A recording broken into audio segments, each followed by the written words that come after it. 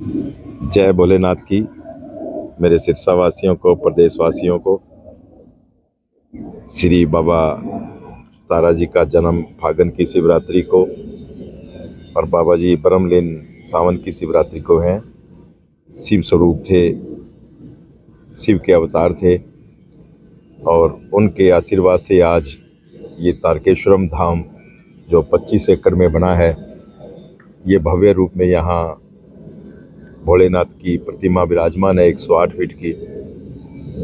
भव्य शिवालय, भव्य गुफा और ये भव्य पंडाल बाबा जी के आशीर्वाद से हर वर्ष यहाँ कभी भागवत कभी रामायण कभी शिव पुराण हमारे सिरसा वासियों को अमृत वर्षा बाबा जी के आशीर्वाद से मिलती है। उन्हीं के आशीर्वाद से बाबा जी के अब की बार शिव पुराण का कथा का आयोजन होने जा रहा है 25 फरवरी से लेकर 3 मार्च तक। जिसमें श्री प्रदीप मिश्रा जी सीहोर वाले आएँगे और अपने मुख से अमृत वर्षा करेंगे। और इस कथा के अंदर भगवान भोलेनाथ का गुणगान करते हैं वो, ये ऐसी अमृत वर्षा करते हैं शिव पुराण में कि लोग इनको आशीर्वाद समझते हैं और इनको इस अमृत वर्षा से लोगों के दुख दूर होते हैं। ये एक कथा बाबा जी के आशीर्वाद से हमें मिली है, जिसकी लगभग हमने तैयारियाँ पूर्ण कर ली है। और कुछ रह गया बाकी शेष काम चल रहे हैं कि जल्दी पूरे हो जाएँगे। और यहाँ एक कथा का बड़ा अच्छा आयोजन होगा।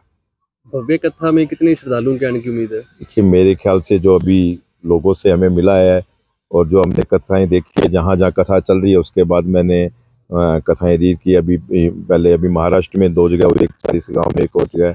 अभी भी मैं सभी कथाएँ देख रहा हूँ उनकी महाराज जी की और सभी को देख रहा हूँ कि उनके भगत जन करीबन नौ करोड़ से ऊपर उनके फ्लोवर्स हैं। तो मैं देख रहा हूँ कि वहाँ हर जगह पाँच लाख, सात लाख, तीन लाख तो मेरे को यहाँ जो सूचना मिल रही है, वो दो लाख से ऊपर लोगों की सूचना मिल रही है कि दो लाख से ज़्यादा लोग आएँगे। और हमने दो लाख लोगों के लगभग यहाँ बैठने की व्यवस्था कर दी है बाबा जी के आशीर्वाद से। बाकी तो करने वाले बाबा जी हैं और वो कन कन में यहाँ विराजमान हैं, लेकिन लगभग दो लाख लोग रोज़ यहाँ आएँगे, उनकी तैयारी हमने कर चुके हैं। और करीबन जो लोगों से को सुनने को मिला है कि जो लोग बाहर से आएँगे, वो बीस पच्चीस हज़ार लोग यहीं कुटिया में रहेंगे। तो हमने उनका बीस हज़ार लोगों का रहने का भी इंतज़ाम कर दिया है सिरसा में और हमारी कुटिया में।